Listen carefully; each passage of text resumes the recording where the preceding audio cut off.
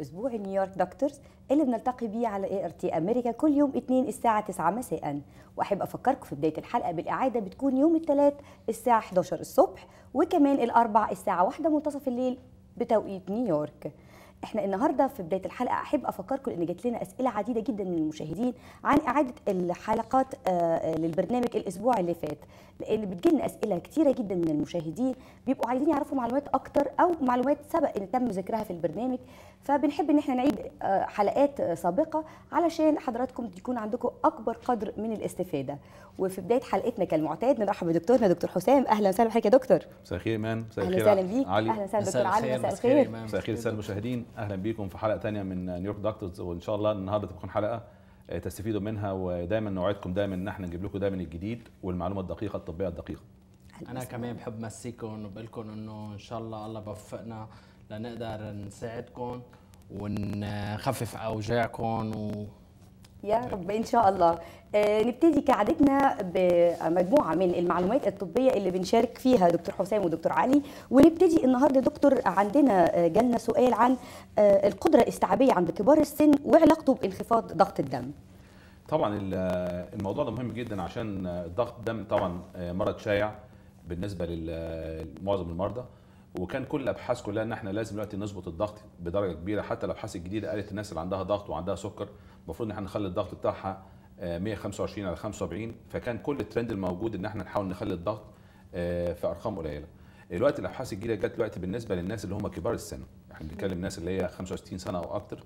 فدلوقتي بالنسبة للدراسات جت إن هو الناس دي لو عندها بدايات الديمنشيا أو بدايات اللي هي الواحد مثلا قدرة الاستيعاب تقل. لو إحنا ابتدينا ننزل الضغط بتاعهم عن آه، 128 ممكن ده يخلي آه، القدرة بتاعتهم الاستيعابية تقل مع الوقت. بالضبط هي الستادي اللي عم يحكي عنها الدكتور حسام هي إجت بمجلة جاما وبتقول عملوا دراسة على حوالي 170 شخص من كبار المسنين وحاولوا يراقبوا لهم آه، ضغطهم على فترة آه، تسعة أشهر اي ثينك وبينت معهم إنه لما كثير بنعمل strict control للضغط بننزله تحت ال 128 في تسارع ب آه، يعني بيحصل الذاكره حالة من فقدان الوعي لا، ولا لا، الزغللة؟ لا، يعني لا، بيكون لا. نتيجتها إيه؟ القدرة الاستيعابية يعني. لا اللي عم. بيصير نحن يعني مثل ما قال الدكتور حسام نحن كثير بنركز على قصة الضغط وخاصة عن المرضى اللي عندهم آه، سكري ولا المرضى اللي عندهم آه، مشاكل بالقلب. ولكن هي الدراسة بينت إنه عند الناس المسنين واللي عندهم مشاكل بال ديمنشيا الخرف المبكر. بتسوق لهم حالتهم إذا كثير نزلنا لهم ضغطهم تحت ال 128 فعشان هيك يرجى إنه التنبه لهيدي الحالة إنه مش مطلوب كمان إذا الرجال مسن ننزل له ضغطه لتحت ال 128 وننبسط بالرقم إنه الرقم منيح بالوقت اللي نحن عم ناذي له عالي. طيب. مهم برضه إيمان برضه ان إحنا السادة المشاهدين يبقى أي حد مريض خصوصا الناس اللي عندها 65 سنة أو أكتر آه، يتابع مع الطبيب الخاص بتاعه. لازم يتابع الضغط قراءه الضغط بتاعته بصفة بصفة دايمة. يحاول يخلي الأرقام بتاعته مثلا 130 135 بلاش ننزل الأرقام اللي هي 125 و120 و110 ويكون فرحان بالرقم ده. خلينا نخلي الأرقام أعلى شوية. طيب يعني دكتور في كمان آه، سؤال بين علاقة بين فترات النوم آه، وتعرض المرضى لمرض السكر. هل ده بتبقى آه، مؤشر؟ طبعا طبعا إحنا اتكلمنا في حالات قبل كده عن ال- كان دكتور علي موجود. مو- برضو موضوع النوم هي معظم المشاكل الطبيه اللي بتجيلنا دلوقتي بتيجي م- م- من لخبطة النوم يعني زيادة الوزن. الواحد بيقعد ساعات طويلة مثلا بينام الساعة 1 بالليل أو الساعة 2 بالليل. الوقت الدراسات الجديدة دلوقتي لقت إن هي أي حد بينام أكتر من 8 ساعات أو بينام أقل من 7 ساعات الوقت النوع الثاني بتاع السكر اللي هو type 2 diabetes حدوثه بقى أزيد. هل الموضوع ده نتيجة عشان اللي بينام عنده لخبطة في النوم وزنه بيزيد فزيادة الوزن بتؤدي للسكر أو دي حاجة directly related إن هو موضوع النوم لخبطة النوم بتؤدي للسكر فهي الدراسة أثبتت كده إن حدوث السكر بيبقى درجته أعلى كتير في الناس اللي بتنام أقل من 7 ساعات أو أكتر من 8 ساعات. حتى يا دكتور لو بتفرق في اوقات في الأوقات يعني النوم في الفترة الصباحية أو الفترة المسائية لا نحن عم نحكي عن النوم هيدا القيلولة نص ساعة ما بتأثر. نحن. عم نحكي عن النوم بالليل. إنه مطلوب من ال- ننام حوالي سبع ساعات لثمان ساعات. هي مثل U shape يعني. إذا نمنا كتير بترتفع المشكلة وإذا نمنا قليل بترتفع المشكلة. فالأحسن شيء إنه ننام على السبع ساعات. المطلوب إنه ينام الإنسان حوالي بالليل. سبعة لثمان ساعات بالليل. وفي نحن بنعرف إنه في كتير دراسات حكت على هذا الموضوع إنه بس عند المرضى اللي عندهم sleep apnea مثلا لما بيقل نسبة النوم عندهم الحقيقي بيصير في ازدياد بال metabolic syndrome يعني كل المشاكل بيزيد الكورتيزون بجسمه للإنسان.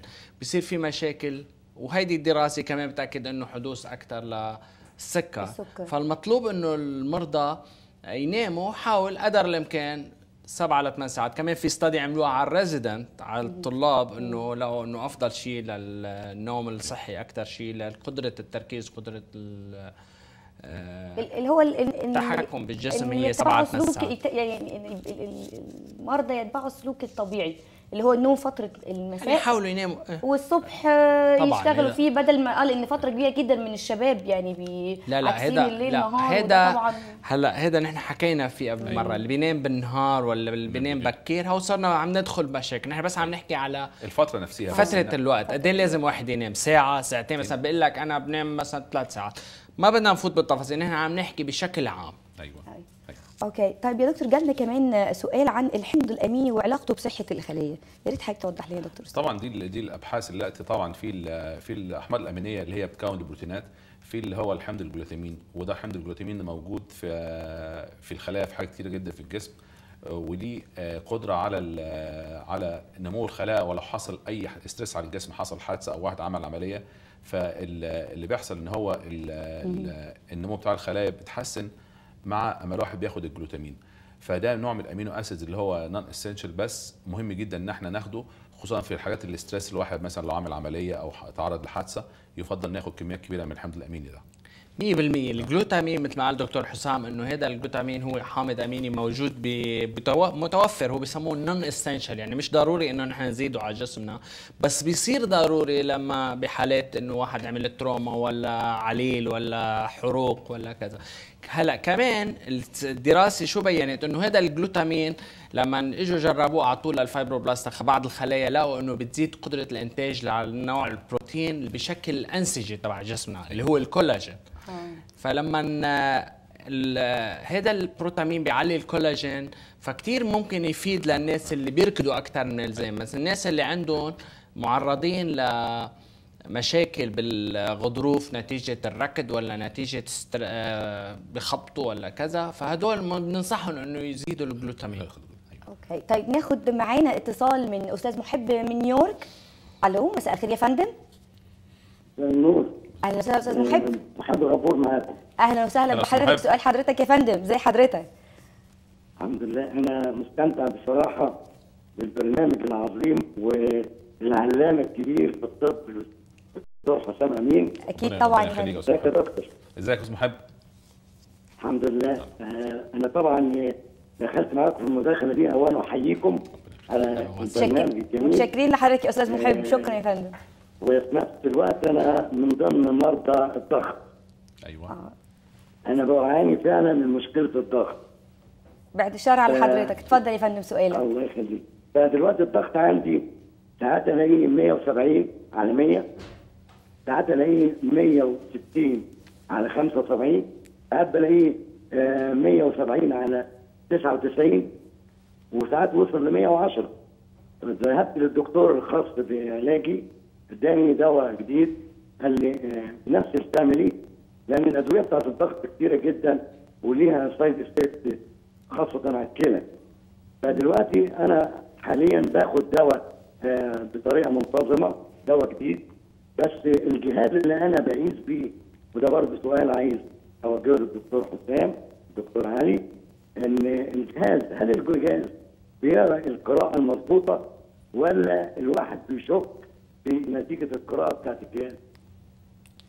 تفضل طبعا دكتور. شكرا. شكرا. يا أستاذ محب. طبعا اتفضل أستاذ محب طبعا. موضوع ال- الضغط طبعا زي ما حضرتك قلت الضغط 170 آه، أو 160 أو كده الأرقام عالية جدا. والمشكلة إن هم الضغط بيسموه silent killer يعني هو الضغط لو سيبناه في الأرقام دي ممكن الواحد ما يحسش بأي أعراض بس الضغط بتاعه عالي فده بيؤدي لحدوث سمك في عضلة القلب وده في المستقبل بيؤدي مشاكل بنسميها heart failure diastolic heart failure وتبقى مشكلة جامدة جدا وعلاجها صعب. فلذلك بقى مهم جدا إن إحنا نظبط الضغط.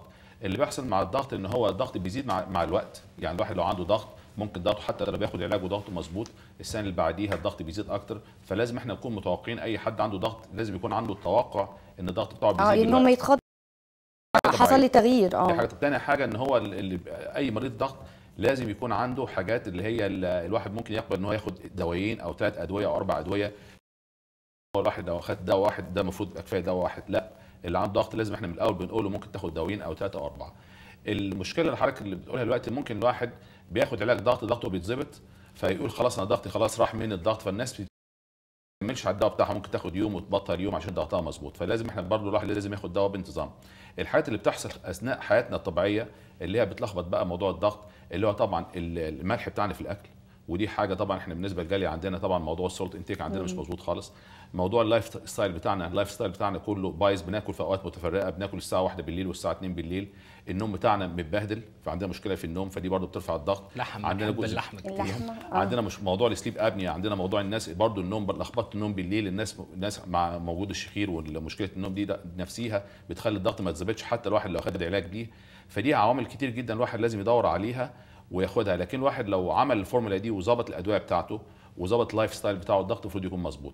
بالنسبة للأجهزة ودي حاجة اتكلمنا عنها قبل كده أجهزة الضغط مش زي أجهزة السكر. أجهزة السكر دقيقة أجهزة الضغط للأسف لغاية دلوقتي مفيش جهاز نقدر نقول إن هو مظبوط 100% فالواحد لو عنده جهاز ضغط في البيت وقاس ضغطه ممكن يقيس ويعيد ال- القياس بعد خمس دقائق هيلاقي رقم مختلف. يعيد القياس بعد خمس دقائق فده يقول لنا الأجهزة دي مش دقيقة.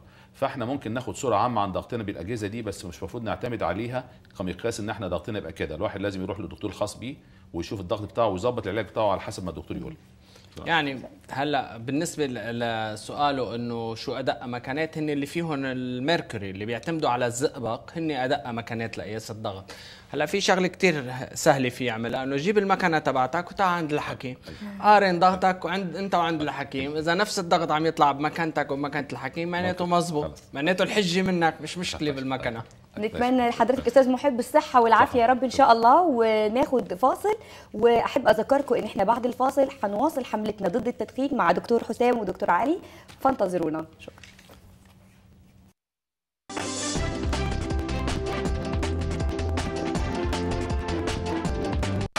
Syria. Hey, are you listening? Pay attention. A lot can happen in four years. Graduation parties, Olympic celebrations. Americans win gold. The last four years in Syria weren't so festive. Families need simple things to live, like food, water, and medical care. Now you can choose to turn away, or you can choose to pay attention with Islamic Relief USA. Four years in, pay attention to Syria. Please give generously. المحبة بين العرب والإخاء والتواصل يربطها جسر. ART تقدم برنامج منوع يربط بين الوطن والمهجر ويسلط الضوء على جميع القضايا التي تهم العرب في الأمريكتين. فن ثقافة مقابلات مسابقات حوارات. الجسر ذا بريدج الجمعة في هذه الأوقات على قناة ART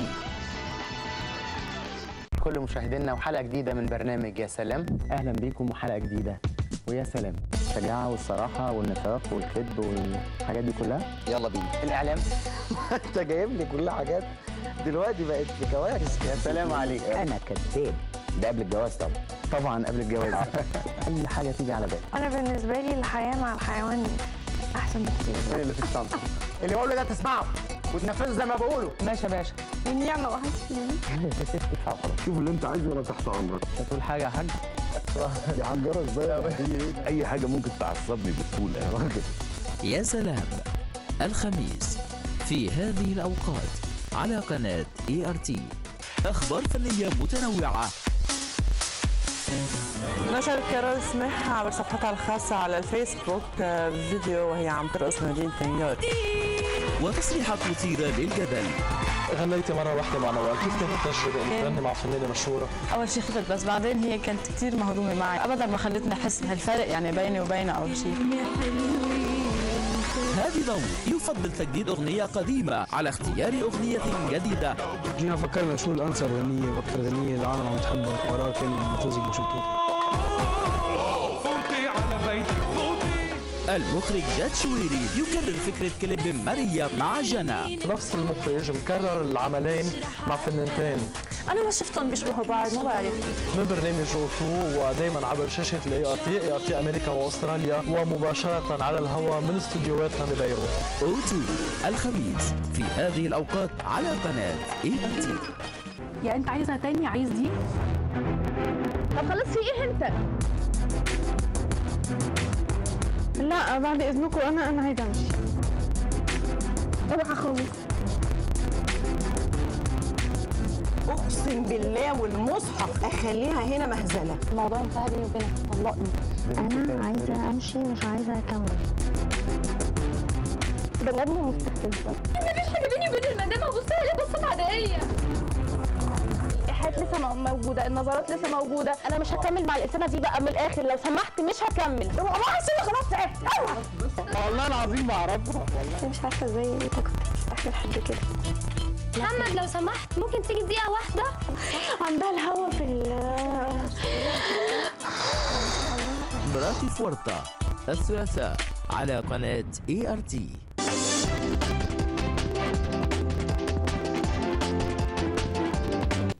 أهلا بيكم مشاهدينا مجددا في برنامجكم نيويورك دكتورز وفي حملتنا ضد التدخين هنلتقي مع دكتور حسام ودكتور علي في آه، حلقة النهارده هتكون آه، خاصة في عجالة عن آه، محاربتنا لموضوع التدخين لأن دلوقتي موضوع بيشغل جميع المشاهدين ونتمنى لكم الصحة والعافية. دكتور حسام دكتور علي أهلا وسهلا بيكم أهلا فيكي إحنا برضو الساده المشاهدين ال- إحنا برضو ال- زي ما اتكلمنا الحلقة الماضية على الموضوع التدخين وإن شاء الله 2015 تكون ال- السنة اللي إحنا كلنا نبطل فيها تدخين آه، المدخنين وإن شاء الله دي برضو عامل مهم جدا بالنسبة للصحة بتاعتنا. فإحنا برضو هنبتدي والحلقة اليوم والحلقات القادمة إن إحنا نتكلم بالظبط إيه إيه بالظبط السجاير. موضوع السجاير مش موضوع سيجارة مش موضوع نيكوتين الموضوع أكتر من كده بكتير. يعني إحنا حبينا نخبركم شو عم تدخنوا. أنتوا يمكن فكرتوا انه النيكوتين النيكوتين ممكن ماده بتفيد ببعض الأحيان بتروق الدماغ بس بس السيجارة فيها نيكوتين. السيجارة فيها آلاف من المواد الكيميائية اللي مأكد إنه بتسبب سرطان. حبينا نبلش نخبركم عنهم. يعني مثلا دي مثلا دي السجاير برضو زي ما الدكتور علي قال دي السيجارة ده مش موضوع تبغ وموضوع نيكوتين الموضوع أكتر من كده بكتير. هنوريكم في في الستايل الجاي دي السيجارة الموجودة. إيه اللي موجود عندنا؟ إيه اللي أي حد مننا بيدخن؟ آه، بياخده وهو بيدخن السيجارة. إذا جينا نبلش على الشمال نطلع أول مادة هي الموجودة بالأنبوب هي مادة الأمونيا. هي المادة اللي بيستعملوها أنتم بالحمام لتنظفوا الحمام. يعني أي حد بيع بينظف وكلنا كلنا في البيوت. آه، الريحة نفسها وال- والامونيا المادة نفاذة جدا والمادة دي يعني بتموت كل حاجة. تخيل إن المادة دي موجودة في السيجارة اللي أنتم بتاخدوها كل يوم. نيجي بعد بعد كده عندنا هو النيكوتين بحد ذاته هو ماده بت بتموت الصراصير هو insecticide للحر مبيد الحشرات يعني. ده النيكوتين وبعد كده في عندنا مادة الت- ال toluene. ال toluene المادة اللي هي لو أي حاجة في في الصناعات بيدوبوها الحاجات لو في حاجة دهون أو شحوم عايز تدوبها بنستخدم مادة التلوين. فمادة عنيفة جدا موجودة فتخيل دي مادة بتدخل جوه الرئة بتاعتنا ممكن تدوب إيه؟ كمان في مادة ال hexamine اللي هي بنستعملها لنشعل الباربيكيو. فإذا أنتم عم تعملوا مشاوي وحبيتوا تشووا اللحمة تحطوا موجودة هيدي ال hexamine. هي موجودة موجود- بالسيجاره موجود. نيجي عندنا ال stearic acid ده اللي هو الحاجة ال wax اللي هو ال- الشمع الموجود في ال candles. فده موجود موجود في السيجارة ودي حاجة بندخلها في الرئة بتاعتنا. آه، كل مرة بندخن سيجارة. كمان شيء أكيد إنه بقلب البط... السيجارة في مادة الكادميوم اللي هي بيستعملوها بالبطاريات. وهي مؤكدة إن من المواد المسرطنه وبرضو عندنا برضو عندنا ال- ال- الكادمي الك- الكادميوم. اللي هو الموجود في البطاريات والكادميوم ده حاجة ممكن تسبب سرطانات موجودة اللي هي المادة دي موجودة جوه البطاريات بتاعتنا في ال butane كمان اللي بيستعملوه بالقداحات lighters في ال acetic acid اللي هو موجود بال vinegar يعني بالخل. في عندنا مادة ال methane ال methane دي اللي هي موجودة أي حد في ال sewer يعني دي حتى ممكن بتموت ساعات لو راحت في المجاري مثلا موجود. حلوة دي. فدي حاجة موجودة ال- الغاز اللي بيطلع فيها ده ممكن يمو- يموت أي حد. يعني الغاز اللي بيطلع بقلب المجاري لما بتكون المجاري معفنة وكذا هي في بقلبها 200 عندنا الزرنيخ اللي هو ال arsenic اللي هو ال poison ده موجود جوه السجاير. مواد سامه يعني. وال carbon monoxide طبيعي هو الغاز ثاني أكسيد الكربون اللي هو موجود من طلعه. وميثانول هي ماده مسممه يعني وكمان موجود بقلب السجاير. فأنتوا هود اللي عم تدخنوهم مش بس النيكوتين. نيجي نيجي بعد كده في ال في ال slide الثاني التدخين بيسبب بيسبب سرطان. يعني دي حاجة اثبتت مش سرطان الرئة بس سرطان ال- اللسان سرطان ال- ال- ال esophag- المريء. المريء الحنجرة البروستات؟ البروستات البنكرياس. المعدة والكولون؟ فكمية سرطان جامدة جدا. فهو التدخين نفسه بيأثر في خلايا الجسم يسبب السرطان. ال- ال- المشكلة بال- بالدخان إنه بيجي بيمنع بينزع الخلايا. نحن في عنا بتكاثر بشكل مستمر بقلب جسمنا هيدي هي ال- اللوحة اللولبية تبع ال- الأنسجة ال DNA ال DNA تبعنا. الحامض الامين أيوه. الحامض الأميني اللي بيشكل جسمنا. هو بي في عندنا انقسام بشكل مستمر بشكل منظم.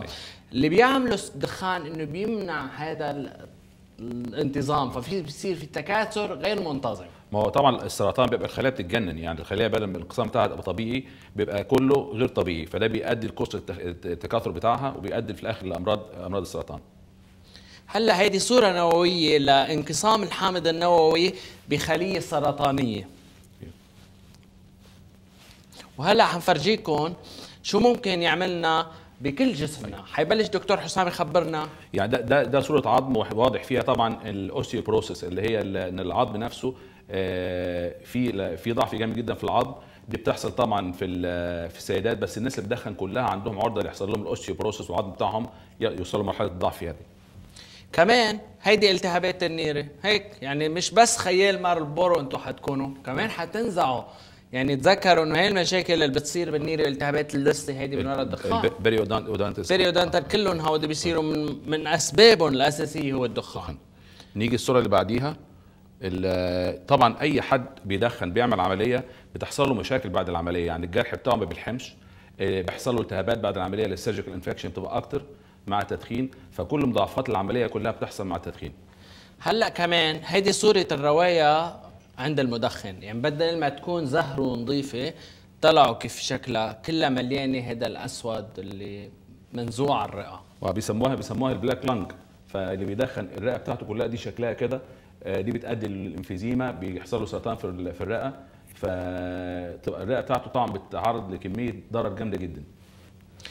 هيدي مشكلة الشرايين. هي واحد من الأسباب الأساسية لمشاكل الشرايين عند كل الناس اللي بيدخنوا هي الدخ... هي التدخين بحد ذاته بينزع الشرايين وبيؤدي إلى تلف الأعضاء مثل ما شايفين بهيدي الصورة كيف عم تفقد هيدي ال- الس- الست العجوز كيف عم تفقد أصابعها واحد ورا الثاني حتبلش تفقد. طبعا دي peripheral vascular disease والناس كلها اللي عندها بتدخن بيبتدي عندها حتى ما يبتدي يمشي بيحس إن عنده تقلصات في رجليه ما بيقدرش يكمل المشي. اللي بيبتدي الأطراف بتاعته يبتدي تسود منه ويحصل لها آه، غرغرينة زي اللي حصل في الصورة دي. هلا كمان حيفرجينا صورة هيدي المريضة بعد ما شالوا لها هذا الطرف من جسمها لأنه انتزعوا هدول. ما بقى فيهم دم ما عاد عم يوصل لهم للشرايين لأنه صار في تلف بالشرايين نتيجة الدخان.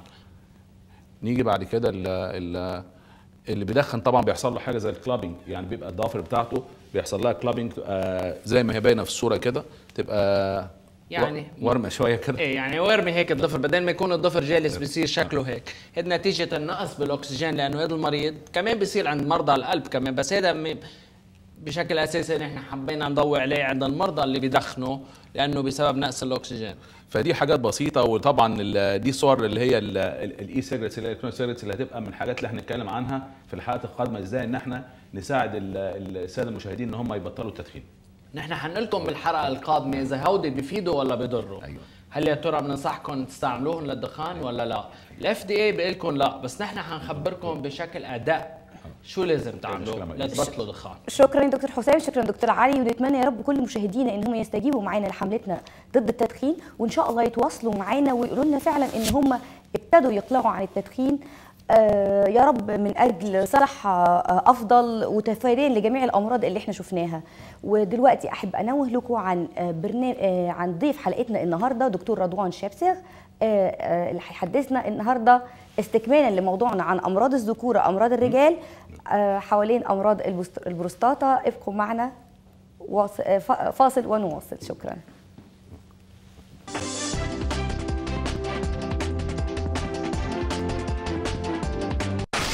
Syria. Hey, are you listening? Pay attention. A lot can happen in four years. Graduation parties, Olympic celebrations, Americans win gold. The last four years in Syria weren't so festive. Families need simple things to live, like food, water, and medical care. Now you can choose to turn away, or you can choose to pay attention with Islamic Relief USA. Four years in, pay attention to Syria. Please give generously. المحبة بين العرب والإخاء والتواصل يربطها جسر. ART تقدم برنامج منوع يربط بين الوطن والمهجر ويسلط الضوء على جميع القضايا التي تهم العرب في الأمريكتين. فن ثقافة مقابلات مسابقات حوارات. الجسر ذا بريدج الجمعة في هذه الأوقات على قناة ART كل مشاهدينا وحلقة جديدة من برنامج يا سلام. أهلا بيكم وحلقة جديدة. ويا سلام. الشجاعة والصراحة والنفاق والكذب والحاجات دي كلها. يلا بينا. الإعلام. أنت جايب لي كل حاجات. دلوقتي بقت بكوارث. يا سلام عليك. أنا كذاب. ده قبل الجواز طبعا. طبعا قبل الجواز. أي حاجة تيجي على بالك. أنا بالنسبة لي الحياة مع الحيوان أحسن بكتير. مين اللي في الشنطة؟ اللي بقوله ده تسمعه وتنفذه زي ما بقوله. ماشي يا باشا.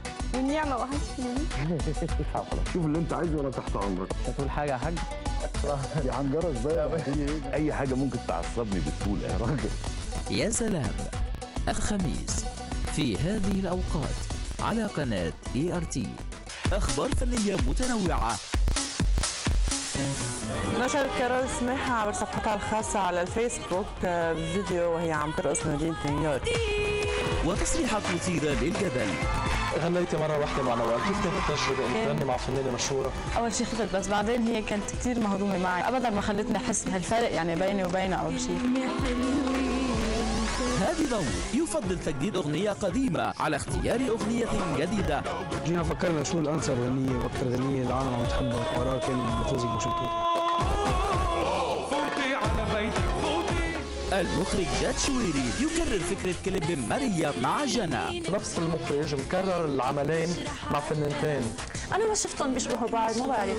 من برنامج اوتو ودائما عبر شاشة ال ART ART أمريكا وأستراليا ومباشرة على الهواء من استديوهاتنا ببيروت أوتو الخميس في هذه الأوقات على قناة ART يعني أنت عايزها تاني؟ عايز دي؟ طب خلاص في إيه أنت؟ لا بعد إذنكم أنا أنا عايزه امشي أروح خالص أقسم بالله والمصحف أخليها هنا مهزلة. الموضوع انتهى بيني وبينك طلقني. أنا عايزة أمشي مش عايزة أكمل. بني آدم مستفزة. مفيش حاجة بيني وبين المدام هبص لها بصات عاديه الايحاءات لسه مو- موجودة النظرات لسه موجودة. أنا مش هكمل مع الإنسانة دي بقى من الآخر لو سمحت مش هكمل. والله سيبي خلاص تعبت. والله العظيم بعرفها والله. مش عارفة إزاي كنت بستحمل حد كده. محمد لو سمحت ممكن تيجي دقيقة واحدة؟ عندها الهوا في ال براتي فورتا الثلاثاء على قناة ART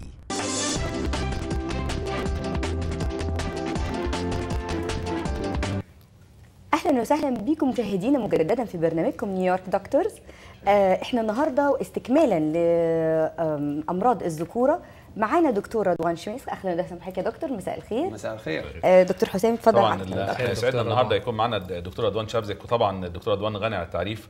هو دكتور رضوان آه، أستاذ آه، يعني أستاذ ال urology في جامعة كورنيل رئيس قسم الجراحة في برونكس ليبنان آه، رئيس الجمعية العالمية لصحة الرجل آه، دكتور رضوان طبعا علم علم الطب هنا في ال- في المسالك البولية في في أمريكا. آه، أبحاثه موجودة في كل حاجة وشرفنا قبل كده في ال- في ال campaign بتاعنا في صحة الرجل في أول حلقة عملناها في البرنامج. فالنهاردة الحلقة الثانية والدكتور رضوان ب- بيشرفنا فيها. نتكلم النهارده على موضوع مهم جدا طبعا موضوع اللي هو أمراض البروستاتا وكده. فاهلا بيك يا دكتور رضوان أهلا وسهلا يا دكتور. مساء الخير. شكرا. وأنا سعيد جدا أن أكون معكم وشكرا جزيلا على التقديم الجميل دكتور حسام آه، وأنا بهني آه، برنامج نيويورك دكتورز لنجاحكم الكبير ولأعمالكم القيمة ولأعمالكم في خدمة الصحة للجالية العربية في نيويورك وأمريكا. أهلا وسهلا بحضرتك يا دكتور طبعا دكتور دكتور رضوان طبعا النهارده موضوع اللي هو البروستاتا طبعا ده موضوع ده مهم جدا إن آه، دي بالظبط زي الأمراض بتصيب السيدات. في أمراض بقى اللي بتصيب الرجال فالبروستاتا طبعا من الحاجات الموجودة اللي عاملة مشكلة جامدة جدا عند الساده المشاهدين. فنتكلم في الأول إز- إيه هي البروستاتا؟ نعم هذا سؤال مهم جدا. وغدة البروستاتا معروفة من قديم الزمان في علم التشريح آه، خصوصا عند الأطباء العرب القدامى. آه، وغدة ال- البروستاتا هي عبارة عن غدة موجودة من الناحية التشريحية في آه، الحوض. والحوض هو أسفل البطن. موجودة موقعها حول مخرج ال- المجرى البول عندما يخرج من المثانه موقعها له, أهمية كبيرة. لأنه موقعها موقعها هو اللي بيشرح عديد من اعراضها بيشرح عديد من امراضها وبيشرح عديد من ال ال ال ال العلاجات والنتائج والمضاعفات الجانبية للعلاجات. طب طب إيه البروستاتا؟ طب إيه وظيفة البروستاتا؟ أنا ربنا خلق البروستاتا ليه؟ نعم. ال- ال- البروستاتا تفرز سائل مغذي للحيوانات المنوية وهو يكون تقريبا 90% من حجم السائل المنوي عند القذف عند الرجل.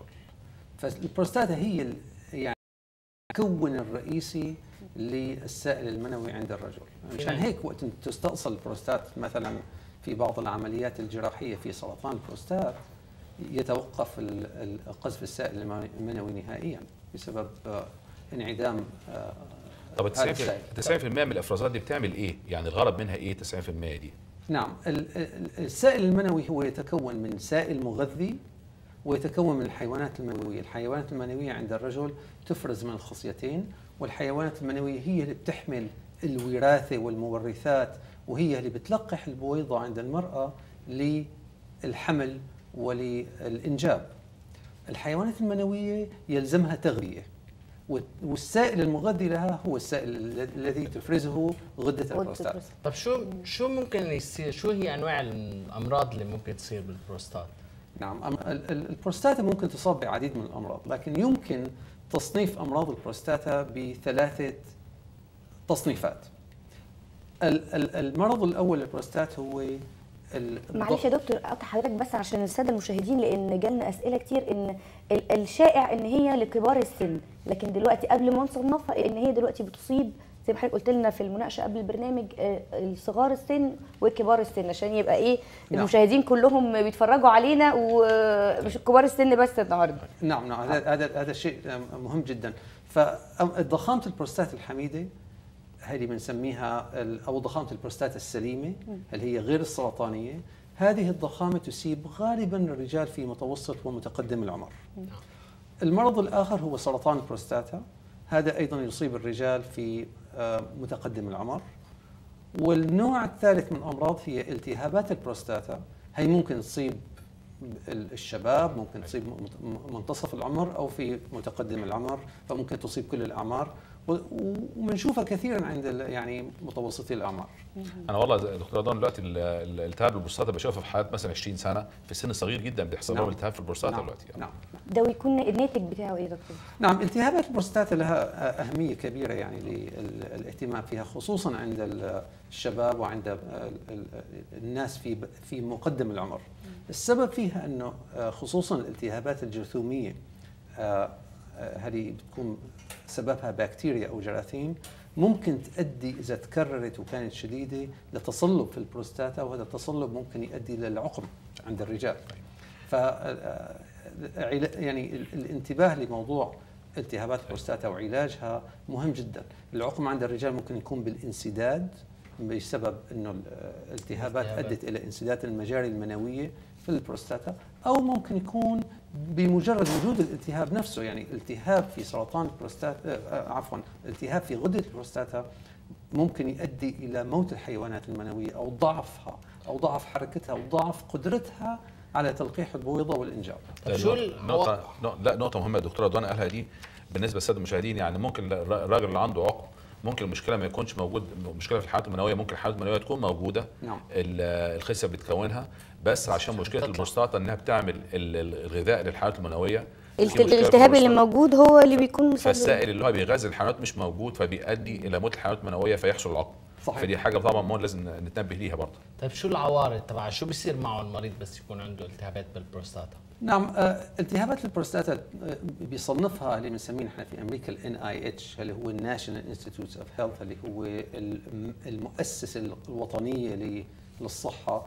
تصنف إلى أربع أنواع آه، التهابات البروستاتا النوع الأول هو الالتهاب الجرثومي الحاد يعني ال acute prostatitis. الالتهاب الجرثومي الحاد بيصير بالجراثيم بترافقه حمى ورعشة وتعب وارتفاع في كريات البيضاء في الدم والى آخره وهذا طبعا يلزمه علاج بالمضادات الحيوية بشكل سريع وبشكل قوي ولمده لمده كافية. يعني مده قد إيه يا دكتور رضوان؟ يعني على الأقل أربع أسابيع.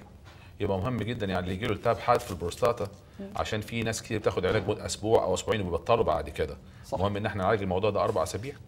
تماما لأنه ال- ال- الجراثيم في البروستاتا مثل بتعشش يعني في البروستات في أعشاش صغيرة والمضادات الحيوية ما بتصلها أيوه بشكل يعني لازم المريض. يكمل الكورس بتاع المضاد الحيوي تمام. بأكمله مش تمام. حاسس تمام. بتحسن بيقوم بده في العادي الناس بتعمل كده تقوم مبطله المضاد الحيوي في كثير ناس مع الأسف متى شعر بتحسن شوي بوقف الدواء يعني هي الرسالة للشباب موجهة إنه أيوة. قد إيه خطر الموضوع، الموضوع خطر ممكن يؤدي لعقم، عشان هيك إذا رحتوا شكيتوا من مشاكل بروستات ورحتوا عند دكتور متخصص لازم تكملوا العلاج للآخر. تمام ال- النوع الثاني من آه، التهابات البروستاتا هو الالتهاب الجرثومي المزمن يعني chronic chronic bacterial وهذا بيكون له آه، أهمية كبيرة جدا في موضوع العقم.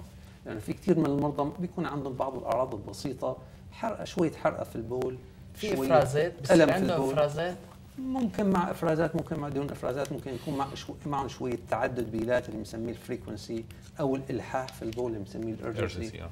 لكن في عديد منهم ما عندهم آه، العرض الوحيد بيكون عندهم هو هو العقم أيوه. فهذا التهاب البروستات المزمن أيضا آه، في بعض الأحيان لا يكشف بزرع البول بال urine culture يكشف بزرع السائل المنوي بال semen culture فهذا يلزمه يعني آه، انتباه عن طريق طبيب اختصاصي في استاذن حضرتك دكتور قبل. ما نكمل آه، آه، أنواع الالتهابات بس ناخد معانا إبراهيم من تكساس مساء الخير يا إبراهيم. ألو؟ إبراهيم مساء الخير. ألو؟ إبراهيم.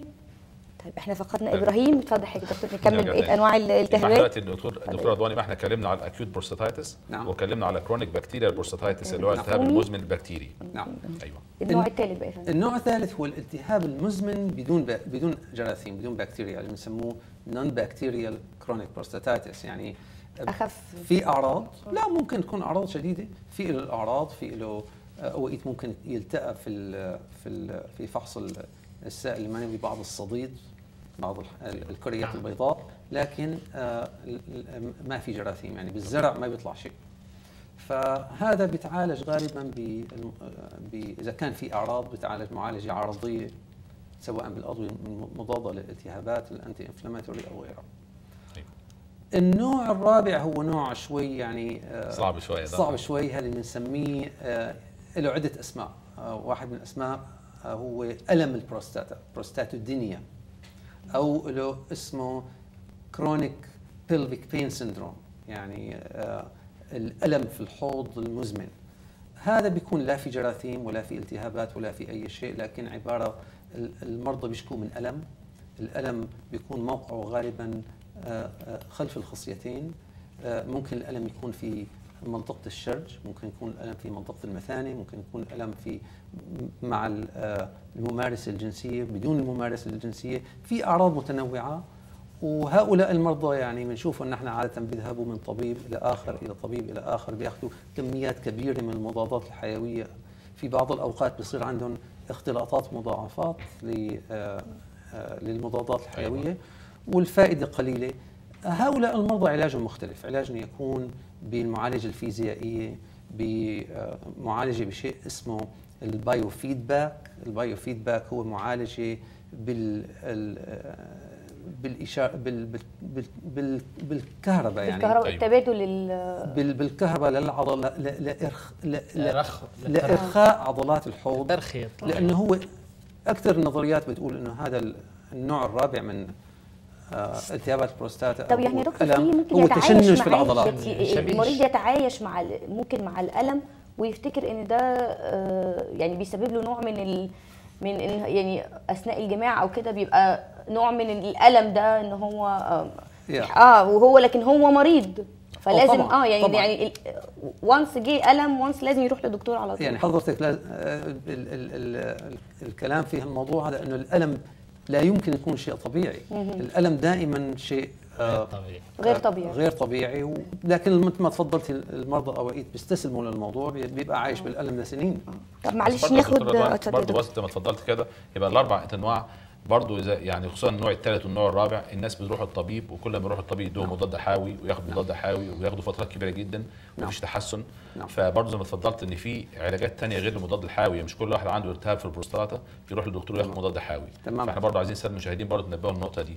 يعني التشنج كمان له علاقه يمكن مثل ال irritable bowel syndrome يعني مثل تمام. القولون العصبي شكله كمان بيعمل نفس تشنج العضلات مشان مشان هيك اسم الم- المرض هذا النوع الرابع من التهابات بروستات اللي هو اسم التهاب بروستات prostatitis يعني هو اسم مستعار. الاسم الحقيقي هو pelvic pain syndrome أو أغلب أسبابه تشنج في العضلات. طب له شيء بيفيده؟ شيء ال cranberry juice كثير بنسمع بيقولوا cranberry juice بيفيد للالتهابات المزمنه ولليو تي اي شو رأيك بهيدي الفكرة؟ الاوميجا 3 كمان برضه. لا. ده لا؟ والله شوفوا.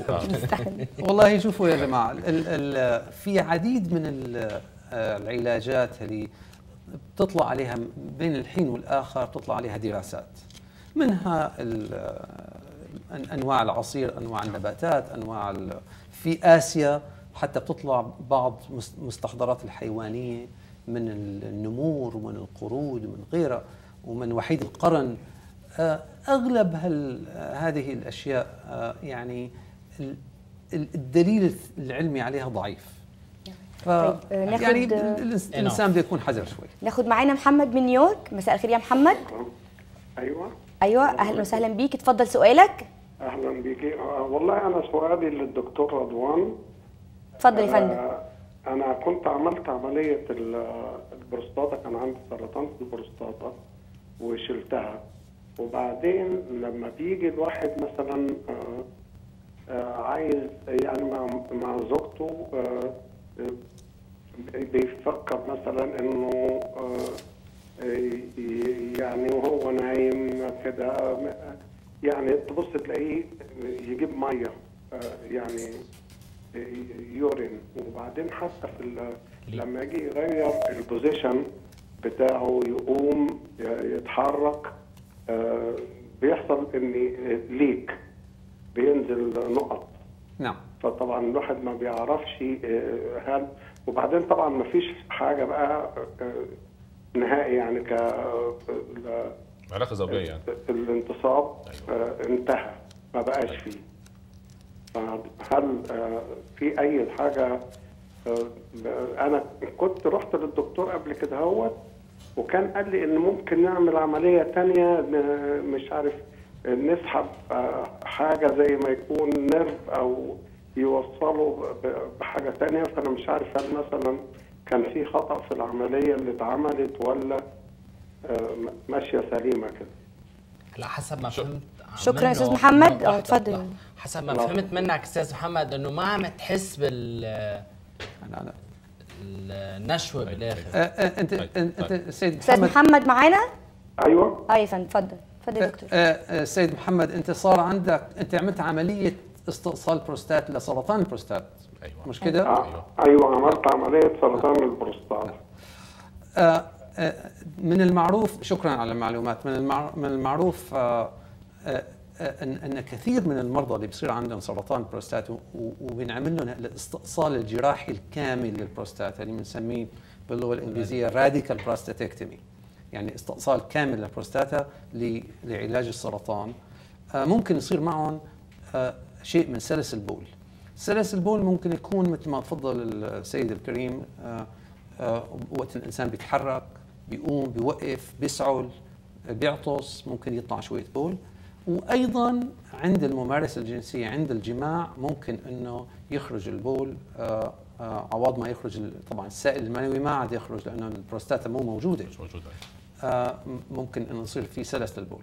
بالإضافة إلى ذلك استئصال البروستات الكامل ممكن يسبب ضعف الانتصاب بسبب تأثيره على الأعصاب اللي وال, وال ال- ال- الأوعية الدموية اللي بتغذي ال- ال- العضو الذكري. ال- ال- الحالة ال- ال- ال- اللي اش- اشتكى منها ال- السائل الكريم لها علاجات آه، فعالة آه، العلاجات الفعالة ممكن تكون من أشياء بسيطة مثل أن الإنسان يروح على الحمام قبل الجماع ويتأكد من تفريغ المثانة كاملة. لكن أغلب المرضى بيحتاجوا عمليات جراحية. هناك عمليات جراحية في عملية جراحية اسمها male sling. ال male sling هي عبارة عن آه، آه، مثل شريحة آه، اصطناعية من نحن من- بنزرعها داخل الجسم لتمسك البول مشان البول ما ما يخرج. وتوقف سلس سلس البول. وطبعا في علاجات ثانية أيضا لموضوع ضعف الانتصاب وهذه العلاجات ناجحة وأنا أشجع المرضى يعني عملوا عمليات للخلاص من سرطان البروستات إنه يعالجوا مضاعفاتها لأنه عادة المرضى اللي بيكونوا عملوا عمليات لسرطان البروستات عادة يعني توقع الحياة عندهم ال life expectancy طويلة الحالة النفسية بعد كده مش مؤهلة تمام. للتعايش مع ال- تمام يعني. تمام بس برضه أخ محمد زي ما الدكتور رضوان قال يبقى بالنسبة لل لل اللي هو ال- ال- ال- البول اللي هو ال incontinence الموجود في العملية الموجودة اللي هي ال- ال sling زي ما الدكتور رضوان قال. بالنسبة لموضوع الانتصاب إحنا اتكلمنا وممكن تراجعنا الحلقات الحلقة مع الدكتور رضوان الحلقة الأولانية اللي عملناها في البرنامج موجودة على الفيسبوك بتاعتنا. آه، موضوع ال implants الموجودة أو ال- والدكتور رضوان اتكلم عنها بال- بالتفصيل في الحلقات الحلقة اللي قبل كده. فدي برضو حاجة ما تستناش تستناش عليها وإن شاء الله تصلح لك موضوع الانتصاب وموضوع طبعا اللي هو ال incontinence يتصلح يعني. إن شاء الله. يعني دكتور بس حضرتك تذكر لنا أسباب الالتهاب بتيجي منين؟ التهابات البروستات ممكن تكون أسبابه بسيطة جدا. أي التهاب في مجاري البول اللي بنسميه urinary tract infection يعني التهاب مجاري البول ممكن يطلع من البول يدخل في انسجه البروستاتا ويؤدي ويؤدي أه، التهابات. التهاب البروستات. الشيء الآخر هو أه، أه، خصوصا عند يعني الشباب هو الأمراض التناسلية أو ال- اللي تنتقل عن طريق الممارسه ال- الجنسية. ممكن أيضا تصل إلى البروستاتا. ف يعني وقت بنعمل الزرع. نحن الجرثومي في المخبر ممكن تكون البكتيريا من البكتيريا الشائعة من اللي بنسميها ال E. coli وهي بتكون ما لها علاقة في الممارسة الجنسية لكن في بعض الحالات بنشوف بكتيريا أنا نحن تكلمنا مع الدكتور حسام ممكن تكون ureaplasma chlamydia أو غيرها هي بتكون منتقلة في الممارسة الجنسية. طب دكتور رضوان مع العلاج إحنا اتكلمنا على المضاد الحيوي اتكلمنا على ال biofeedback آه، ممكن حاجات زي ال anti-inflammatory يعني ممكن الواحد ياخد حاجة زي ال Motrin أو ال Naprosyn الحاجات دي لو في مثلا في عنده ألم وكده. إيه الحاجات الثانية اللي موجودة اللي إحنا ممكن نستخدمها لالتهاب البروستاتا؟ آه التهاب البروستات أيضا من من الأشياء المهمة هي إنه تأكد إنه ما في أشياء ثانية لأنه أوقات في بعض الأوقات آه، ال- ال- التهابات البروستات ممكن تترافق مع تضيق في مجرى البول. فوقتها قد ما أعطيت أنت انت antibiotics أو مضادات حيوية إذا كان في تضيق في مجرى البول الجراثيم تبقى في تراكم فيها في البروستات. ف آه، الفحص الكامل من ناحيه المسالك البولية مهم جدا لهؤلاء هؤلاء المرضى. بالإضافة إلى ذلك المتابعة إنه بعد العلاج يتأكد إنه عمل زرع سواء زرع بول أو زرع السائل المنوي للتأكد من الشفاء الكامل منها آه، إذا كان أخذ المضادات الحيوية. طب بالنسبة للحاجات ساعات في حاجات زي السيالس مثلا ساعات في في الالتهاب المزمن في البروستاتا آه، ساعات دكاترة المسالك بيستخدموها. هل دي حاجة تنصح بيها؟ ال- ال- ال- الدواء ال- أو العقار عقار ال Cialis هو آه، الحقيقة يعني ال- ال- استعماله للضخامه الحميده للبروستاتا ولأعراضها أكثر من ال- ال- التهاب البروستاتا، إذا كان في التهاب بالبروستاتا ال Cialis غالبا فائدته فائدته محدودة جدا. طب دكتور دكتور رضوان طب بالنسبة لل acupuncture كانوا بيتكلموا على موضوع ال acupuncture في علاج التهاب البروستاتا. acupuncture له دور يعني؟ آه، وهو العلاج بالإبر الصينية. أيوه. آه، له دور في في النوع الرابع من من التهابات البروستاتا. هذا هو ال chronic pelvic syndrome أو ال- ال- ال- الالتهاب المزمن. الم- الألم الألم المزمن. المزمن. أو آه. التشنج المزمن في العضلات. ونح- ونحن في عندنا يعني خبرة في هذا الموضوع. نحن حولنا عديد من المرضى عدد من المرضى إلى بعض ال- الاختصاصيين في الإبر الصينية. وكانت نتائج معقولة. طيب، معلش يا دكتور في مقولة شائعة بتقول إن آه، صديد الأسنان أو أي صديد في الجسم بيؤدي إلى التهابات آه، آه، البروستاتا هل ده صحيح فعلا؟ هو عشان بشكل- تكوينها الشعيرات الدموية الدقيقة؟ بشكل نظري أي التهاب في أي مكان من الجسم ممكن عن طريق الدورة الدموية ينتقل إلى أي عضو آخر. بالنسبة ل آه، ال- ال- التهابات الأسنان أنا مالي طبيب أسنان طبعا بس آه، وأنا بعيد عن الأسنان عن الفم والأسنان. إحنا بنتكلم عن الالتهابات الصديديه آه، كطبيب مسالك آه. بوليه لكن آه، ال- آه، آه، ال- التهابات اللثة والتهابات آه، ومثل ما تفضلتوا حضرتكم أثناء آه، شرحكم عن موضوع التدخين آه، ال- ال- الالتهابات المزمنة في اللثة ممكن أنه تؤدي إلى آه، إلى تغيرات في آه، ال- آه، الجراثيم الموجودة في في الجسم. وهي ممكن انه تأثر سلبيا يعني على على المجاري البولية والتهابات المجاري البولية بالنتيجة ممكن تسبب التهابات بروستات يعني قصده الدكتور رضوان إنه نحن البكتيريا ما بتفوت على جسمنا إلا عبر بس ينكسر على الحواجز سواء كان الجلد ولا ال- اللثة ولا- ولا اللثة. فلما بيكون في عنده التهابات مزمنه في بيكون ولا إيه طبعاً. بيكون في انكسار لهالحاجز فبيكون يمكن مرحلة bacteremia. يعني في بكتيريا موجودة بالدم. تمام. هذا شيء وهي فلتر من الفلاتر بتمرق فيها بتعلق أكثر من غيرها. تماما طب دكتور ده موضوع دلوقتي اللي هو التضخم بروستات الورم ورم الحميد اللي هو ال benign prostatic hypertrophy ال BPH ده الموضوع ده طبعا الموضوع ده موجود كتير جدا في في الجالية بتاعتنا. إيه نسبة حدوثه إيه اللي هو ال- التضخم الورم الحميد في البروستاتا أو تضخم بروستات الحميد. يعني تضخم بروستات الحميد هو عبارة عن شائع جدا عند الرجال لدرجة إنه اقترن آه، آه، هذا هذا هذا هذه الحالة اقترنت مع تاريخ المسالك البولية وتاريخ الجراحة البولية وتاريخ و- وبما فيهم الأطباء العرب في في قديم الزمان تكلموا عنه كثير واخترعوا بعض الأجهزة لعلاج سلس علاج حصر البول في هذا الموضوع. فهو موضوع شائع جدا لدرجة إنه بنم- بنمزح في بعض الأوقات مع مع المرضى بنقول انه إنه مثل كيف الرجل وقت بيكبر في العمر بيصير عنده شعر شايب فالشيب جزء من الشيخوخة. فضخامة البروستات هي جزء من الشيخوخه طب نسبة قد إيه من لكن- الرجال بيحصل لهم الموضوع ده دكتور؟ يعني تقريبا ال- ال- الدراسات العلمية أظهرت إنه تقريبا ثلث ثلث الرجال يعني واحد من ثلاثة آه رح يكون عنده منه ضخامة في البروستات مع أعراض. أيوه. أعراض ضخامة البروستات. أعراض. بدون أعراض نص يمكن بيقول. بدون أعراض أكثر حيكون. ناخد معانا تليفون آه، أم ليس من نورث كارولاينا ألو؟ مساء الخير. أم ليس؟ ست أم ليس؟ أهلا مساء الخير. أهلا. يا اهلين مساء الخيرات يعطيك العافية. الله يخليك. يا فندم سؤال حضرتك؟ أه والله أنا عندي سؤال إذا سمحتي. أه أنا من فترة صار أه جانا فيروس بالبيت أه صار في مثل فلو يعني. أه بعد ما صار معي هذا الفيروس تبع الفلو أه بكم يوم صار معي وجع بمعدتي كثير وصرت أيوة. يعني ما أحب القهوة ما أحب الشاي يعني كيف ال... كيف بتكون ال- المرأة الحامل مثل المرأة الحامل آه، ما ما أحب الشاي ما أحب القهوة ما بحب الأكل. دائما عندي غثيان آه، لعية نفس. آه، ومع تشنج ب- بمعدتي. وما عرفت شو السبب يعني أنا. رحت عملت فحوصات وتحاليل وما طلع معي شيء معين يعني. ما أفادوني بشيء. بقى إذا أنتم عندكم فكرة بتفيدوني بشيء بيكون شكرا كثير لكم لأنه هي الحالة كثير أنا متضايقة منها وأنا حاليا مالي حامل يعني.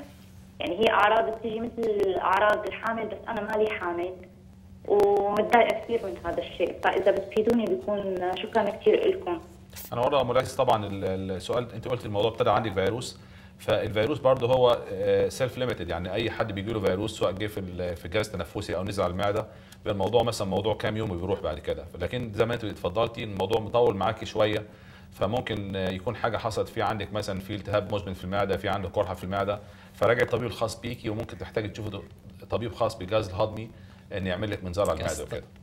بسموها بالإنجليزي gastritis على gastritis. هذا اللي أنت أخذتي شي دواء التهابات بهي الفترة آه، ولا لا؟ الست أم ليث قفلت معانا للأسف آه. طب نرجع okay، نتابع الدكتور طب معلش بس- بس أستأذنكم معانا غسان من ديترويت. غسان مساء الخير. غسان؟ غسان من ديترويت. أهلا وسهلا أستاذ غسان. أهلا أستاذ غسان. اتفضل حضرتك سؤالك يا فندم. بدي أسأل دكتور رضوان أيوه. يعني اختصر أختصر سؤالي كثير إنه قبل أكثر من سنتين راجعت urology دكتور دكتور امراض البوليه والتناسليه عشان إنه عندي kidney stone بس بالصدفه انه شاف عندي نسبه يعني مثل حبه صغيرة أصغر من حبه الحمص في البروستات فراجعته بعدين قال لي إنه من الصعب استئصالها من الصعب جدا أو شبه مستحيل استئصالها بس سألني إنه عندك انحسار بالبول؟ قلت له نعم عندي انحسار بالبول. يعني لما تكرم تطول بعد نص ساعة نحط الكمام بس مش دائما تحصل عندي. يعني مرتين ثلاثة في اليوم تحصل عندي إنه أنا احصل بعد نص ساعة بعد ما اطول في الأسبوع الأولى. ف رأيي إنه سؤالي إنه شو رأيك إنه هذه الندبة؟ أنا سالت الدكتور urology الأمريكي في ديترويت قال لي إنه محتمل تكبر هذه. إذا تكبر يعني ما أعرف إنه ممكن تأثر كل البروستات عندك. صعبة جدا إن تحصل هي نأخذ البروستات كلها نشيلها يعني. خوفني كثير يعني بها فأريد أسأل عن الدكتور رضوان أنه شنو رأيه هو؟ وعنده حبه الحمصة موجودة في البروستاتا شكرا يا أستاذ آه. حسين آه اتفضل ف- آه. يعني يعني طبعا هو الجواب الدقيق ال- ال- مثل ما بيقولوا إن الجواب على قدر السؤال آه، اذا إذا كان هو آه، يعني على طول معلومة انه هو عنده مثل حبة في البروستاتا ال- آه، هذا اللي بنسميه نحن بروستات nodule الحبة في البروستاتا هي ممكن تكون حب عبارة جزء من الضخامة الحميدة في البروستاتا لكن في بعض الحالات ممكن تكون حبة أو بداية لح- ل- أو لبؤ- رم. لبؤرة س- سرطانية أو ورم ال- المهم هو إجراء آه، خزعة الخزعة بتكون ب- يعني أخذ عينة أخذ طبعاً. عينة عن طريق الإبرة بالإبرة عن طريق ال- الامواج الإبرة بتكون بالفحص بالأمواج الصوتية بالألتراساوند عن طريق الشرج وأخذ عينة خزعة وإرسالها إلى المخبر هاي العينة بتبين إذا كان الحبة هي اللي ذكرها حبة ح- بتكون هي حبة آه، ورم حميد أو ورم سرطاني وطبعا العلاج يختلف حسب النتيجة طب إذا طلعت ultrasound negative يعني أنتم مثلا لا، قد إيه. بتوثقوا بهذا الموضوع؟ هي الخزعة تحت الأمواج الصوتية عملتوها وطلعت negative قد إيه بتوثقوا بهي النتيجة؟ يعني ال- الخزعة إذا انعملت بشكل فني وجيد يعني دقتها هي فوق فوق ال 90% هي دكتور هم فالثقه جيدة بيقولوا فيه ما يقدرش يعني الدكاترة قالوا له هناك في ديترويت إن هو مش هيقدروا يعملوا له عملية استئصال. لا إيمان الوقت لا. برضه الأخ أستاذ زي ما آه، الدكتور رضوان يعني- قال يبقى أهم حاجة موضوع الخزع هم لسه ما عملوش حاجة خالص. تمام. فمهم جدا إنك أنت موضوع الخزع تعملها وعلى حسب النتيجة دي يبقى الخطوة اللي بعد كده تحددها. بس ما تأخرش الموضوع. ما تستناش مثلا ست شهور تانيين أو حاجة مم. تقول تعيدها عشان لو لا قدر الله لو في حاجة آه، يقدر فيها يلحقها اورام في- سرطانيه آه. نشوف تمام. ناخد معانا إيمان من نيويورك. مساء الخير يا إيمان. أيوه ازيك يا دكتور أهلا وسهلا. اتفضلي سؤالك أستاذ إيمان. آه سؤالي بس يعني هو بسيط جدا. لما كانت الدكتور بيسأل على ال على ال- بنروح بتروح الحمام أي ألو؟ ألو. اتفضل اتفضل اتفضل حضرتك. أنا مت... نعم. بعتذر. اتفضل يا فندم. okay لما بتروح الحمام بتكون يعني بت... بت... في حرق في البولة. بس يعني ال- الحرق هذا بيروح وبيرجع بيمشي وبيرجع. لما تروح على أخذت على رحت على ال pharmacy أخذت يعني شوية مضادات. بس يعني كان المضادات يعني آه، ساعدتني كثير يعني. بس راح الوجع. بعد أسبوع ثاني رجع الوجع. يعني إيش إيش الأعراض ال- ال- ال- الحرق البولة هذه؟ ف شكرا يا فندم. حضرتك شكرا. شكرا. الحرقة في البول مثل مثل أي أعراض ثانية كثيرة. هذه بنسم هذه بنقول عنها بالإنجليزي non specific symptom يعني عرض غير آه، خاص بمرض معين. هذا العرض ممكن يكون له عدد من الأسباب. يعني بنسميه ال differential diagnosis يعني التشخيص التفريقي. فعرض الحرقة في البول ممكن يكون سببه بسيط التهاب في مجاري البول. ممكن يكون سببه حصوه في المثانه ممكن يكون سببه آه، التهاب في البروستاتا ممكن يكون سببه ورم في البروستاتا ممكن يكون سببه ورم في المثانه ممكن يكون سببه بعض الأغذية اللي بتسبب تخريش آه، في في ال- ال- المثانه ممكن سببه تضيق في مجرى البول. فأنا أنصح ال- ال- السائل الكريم آه، آه، العلاج ال- يعني آه، باخذ بعض بعض ال- ال- المضادات الحيوية آه، بدون المتابعة عن طبيب مختص لهذه الأمور.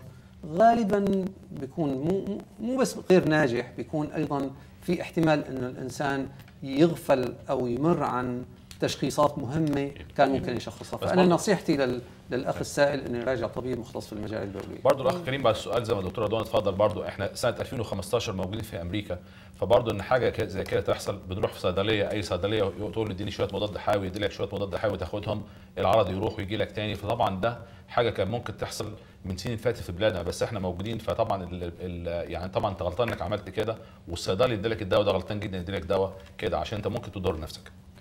طيب آه معلش أعتذر لكم إحنا هناخد فاصل آه ونرجع آه نكمل حوارنا الشيق مع دكتور رضوان آه ابقوا معنا وعلى تواصل معاكم إن شاء الله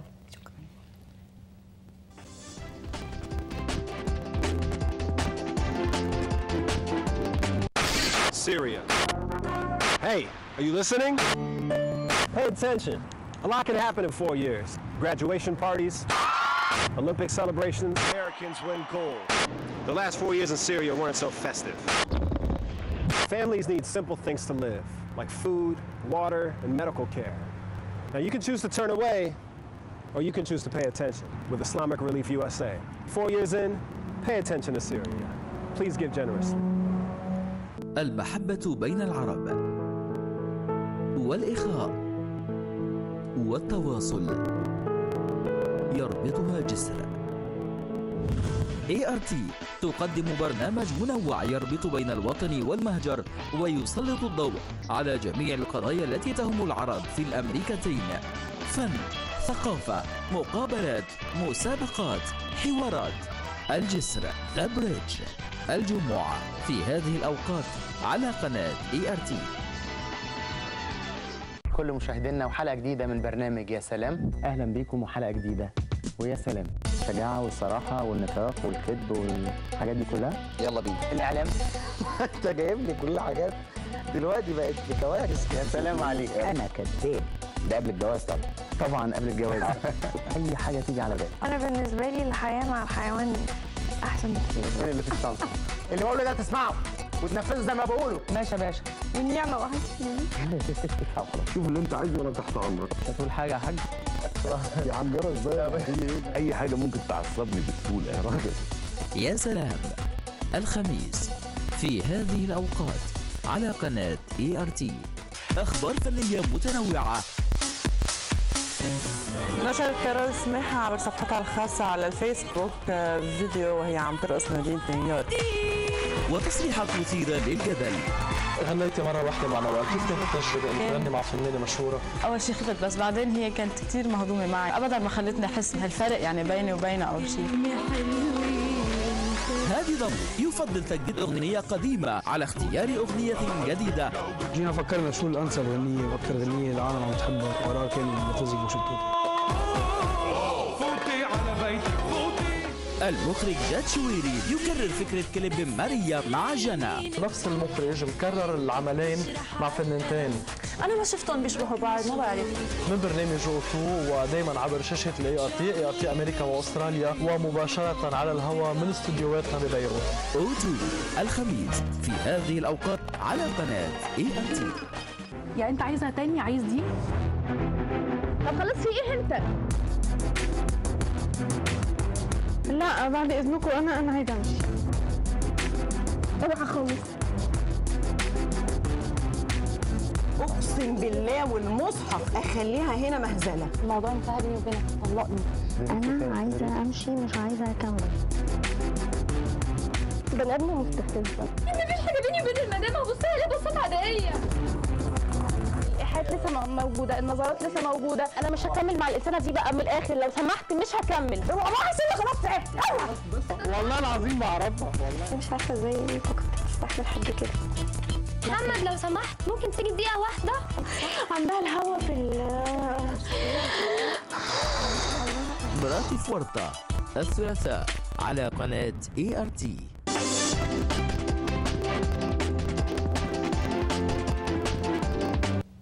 أهلا وسهلا بيكم مشاهدينا مجددا في برنامجكم New York Doctors واستكمالا لحلقتنا النهارده عن أمراض البروستاتا. اتفضل دكتور حسام.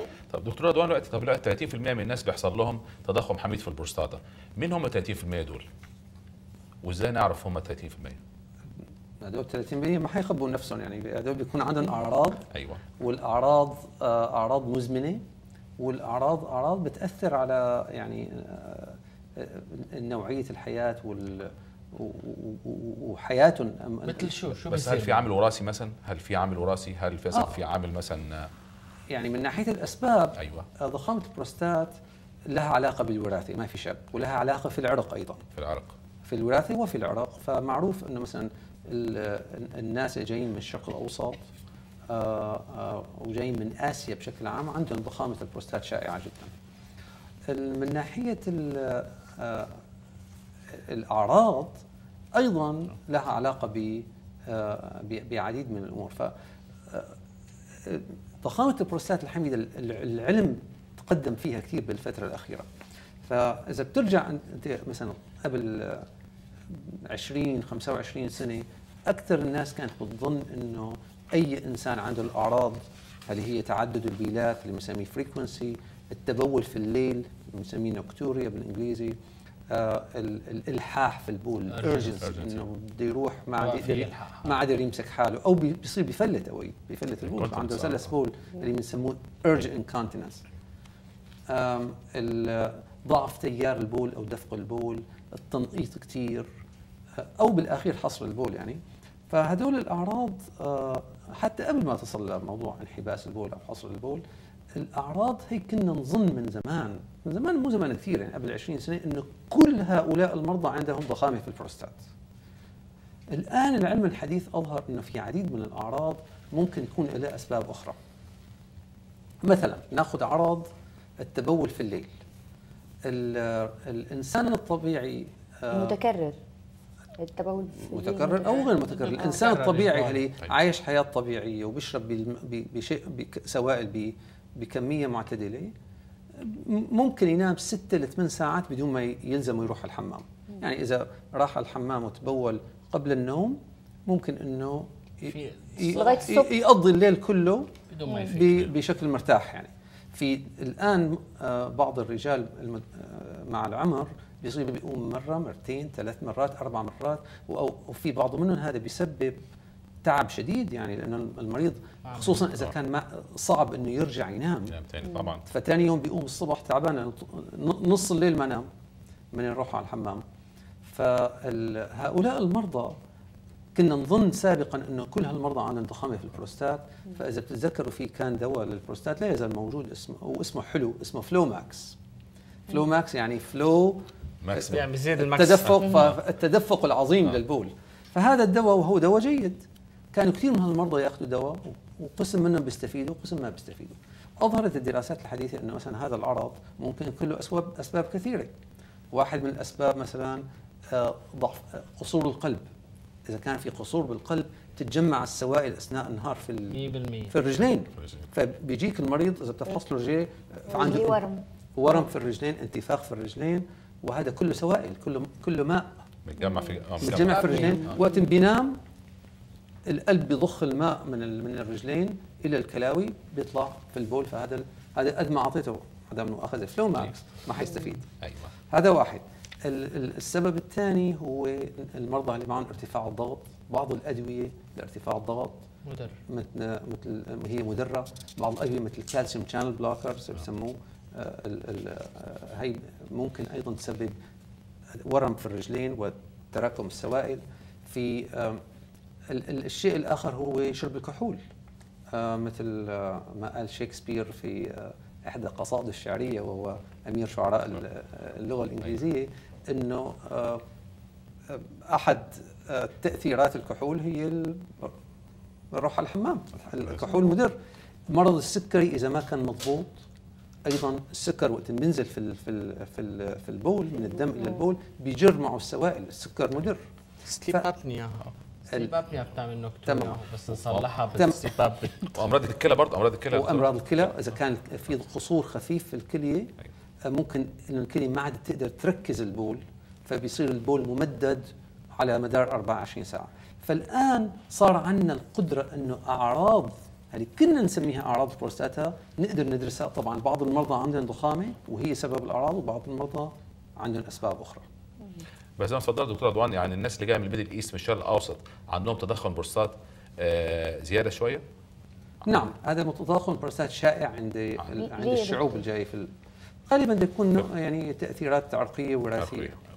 طيب ناخد معانا محمد من بوسطن. محمد مساء الخير. أيوه. اتفضل اتفضل أستاذ أيوة. محمد سؤالك. أهلا وسهلا. أيوه want to ask you, Dr. Uh, Radwan, about trial pyuria. Like the urine culture, whenever you do it, it comes back uh, negative, but there is cells in the urine. So, you know, it, it, it happens like four or five times whenever the patient is symptomatic, and then when you get the UA, you find cells, but the culture is negative, always negative. So what called sterile pyuria. So I, I need to know what can cause that. This number, I- I have two questions actually. The second one, if I can, I can ask the second question, right? اتفضل اتفضل اتفضل يا محمد اتفضل Okay. Um, the second question, you know, um, the wife has or had uh, habitual miscarriage, like, you know, 20 something times actually. And all the investigations for her came back negative. Nothing can explain that. So my question is, is there any reason or cause for such habitual miscarriage can be found in the husband, husband side? المسكرج Thank you. نرجع للأخ محمد السؤال الأولاني مع الدكتور رضوان يبقى هو عند بيبقى شكرا يا أستاذ محمد آه في عنده صديد. موجود في البول بس المزرعة دايما بتيجي سالبة عملها أيوة. خمس مرات نعم آه هذه الحالة معروفة في آه في اختصاصنا في اختصاص جراحة المسالك البولية ممكن تكون على عدة أسباب. واحد من الأسباب ممكن يكون آه التهاب مزمن في البروستاتا اللي إحنا ذكرناه في سابقا هو الالتهاب اللاجرثومي. فهذا عبارة بيكون آه التهاب مزمن في البروستاتا النوع الثالث من التهابات البروستاتا. ممكن يكون أيضا في بعض الحالات آه وهي حالات قليلة آه هي السل في البروستاتا اللي اللي هو tuberculosis in the prostate. هذا ال tuberculosis ال culture العادي أو الزرع العادي أو ال conventional culture ما بيكشفه بده أنواع معينه specific culture ممكن يكون أيضا أسبابه هو نوع من بعض التشوهات آه، آه، في في البروستاتا ممكن يكون اللي بنسميه الرتوج أو الدايفرتيكولم هذا بت- بتجمع ال- ال- ال- البول بتجمع ال- ال- ال- الأشياء. هذا ال- المرضى اللي عندهم هال- ال- هالحالات هي لازم نعمل لهم آه، فحوص متقدمه وفحوص دقيقه يعني والسائل الكريم اتصل وسال باللغة الانجليزيه فبس باختصار يعني آه، sterile pyuria with negative culture can be caused by a number of causes, and it's important that uh, uh, uh, you, you, you, you, you have an evaluation by a urologist to investigate these causes. بس برضه دكتور رضوان زي ما اتفضلت قبل كده إن إحنا الواحد لو عنده التهاب مزمن في البروستات حتى لو جرثومي ممكن الواحد يحلل البول والبول ما يطلعش فيه بكتيريا. بس عشان زي البروستاتا برضه اتفضلت زي الشجرة فممكن الميكروب يكون مستخبي في البروستاتا. فإحنا ممكن نعمل له حتى الحيوانات المنوية ويطلع الميكروب موجود في الحيوانات المنوية. تمام. فيبقى الس- ال semen test هو ال test مش ال urine test. فاليورين ده كل مرة بنحلله مش هيطلع فيه ميكروب بس إحنا لو عملنا الحيوانات المنوية هنلاقي فيها الميكروب. نعم هذا كلام صحيح. وأوقات نحن بنعمل أيضا زرع البول بعد المساج. بنعمل مساج للبروستاتا. وبعد المساج ممكن انه إفرازات البروستاتا تطلع ونقدر نعمل لها زرع وأوقات نلقط بخصوص ال- السؤال بتاع مرات دي برضه مساج الدكتور رضوان قالها دي حاجة بقى دكتور المسالك البولية أو الدكتور العام يعني. فبيعمل يعني حاجة عن طريق ال- ال- rectum من ورا وبيعمل مساج البروستاتا وبعد كده الواحد بيعمل التحليل بعديها. أوكي شكرا شكرا يا دكتور. ناخد معانا محمد من نيويورك. مساء الخير يا محمد. أيوه. أهلا وسهلا. اتفضل سؤال حضرتك. أنا عايز أسأل الدكتور رضوان آه سؤال. آه أنا عملت العملية بتاعت اللي هي البراسو كالفر دي من حوالي ثلاث سنين و ندمان إن أنا عملتها. آه اولا مش عارف يعني رأي الدكتور رضوان إيه ان بعد ما عملتها العلاقة ال- الزوجية ما بقتش طبعا مظبوطة أو يمكن تكون ما بقتش مظبوطة خالص.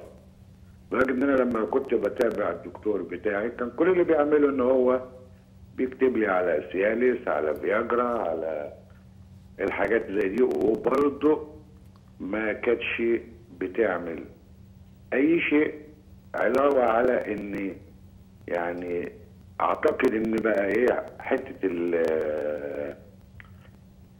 يقولوا عليها إيه إن الرغبة كمان ما بقتش موجودة.